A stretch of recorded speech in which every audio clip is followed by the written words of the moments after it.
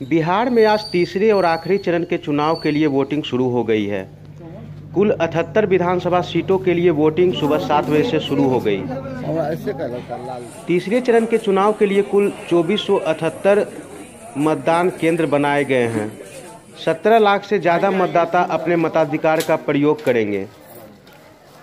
तीसरे चरण में जिन जिलों की विधानसभा सीटों पर वोट डाले जा रहे हैं वहाँ कंट्रोल रूम भी बनाया गया है।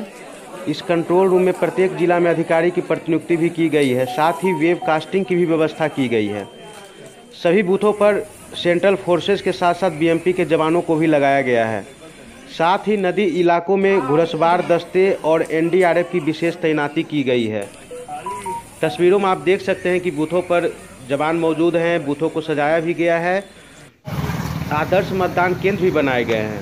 वहीं अगर राजनीतिक पार्टियों की बात करें तो तीसरे चरण के चुनाव के लिए राजद के 46 उम्मीदवार लोजप्पा के 42 जदयू के 37 बीजेपी के 35 बीएसपी के 19 कांग्रेस के 25 एनसीपी के 31 सीपीआई के 2 एनपीपी के 1 वहीं आरएलएसपी और एआईएमआईएम के तेईस उम्मीदवार चुनावी मैदान में अपनी किस्मत आजमा रहे हैं।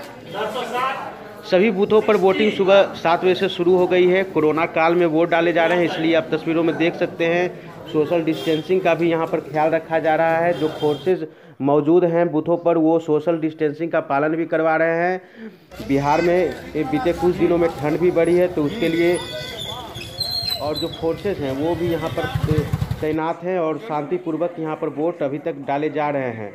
साथ ही कोरोना काल है तो उसका भी ख्याल रखा जा रहा है। सोशल डिस्टेंसिंग का भी पालन किया जा रहा है। आप तस्वीरों में देख सकते हैं कि इस तरह से सुबह से ही जो मतदाता हैं, वो अपने मताधिकार का प्रयोग करने के लिए बूथों पर पहुँचे हैं। जो बुज़ुर्ग मतदाता हैं, वो उनको बैठने के लिए भी व्यवस्था की गई है। और देखना है कि तीसरे चरण के चुनाव में वोटिंग परसेंटेज क्या होता है। जैसा कि जो दो चरण का चुनाव बिहार में संपन्न हुआ है उसमें जो वोटिंग प्रतिशत है उससे ज़्यादा होता है वोटिंग प्रतिशत या उससे कम होता है? ये देखने वाली बात होगी। चुनाव आयोग ने पूरी तैयारी की है। आप देख सकते हैं तस्वीरों में किस तरह से ये लंबी कतार आप ये आदर्श मतदान केंद्र है जहाँ पर लंबी कतार बनाई गई है। महिलाएँ पुरुष भारी संख्या में यहाँ पर मतदान करने के लिए पहुँचे हैं।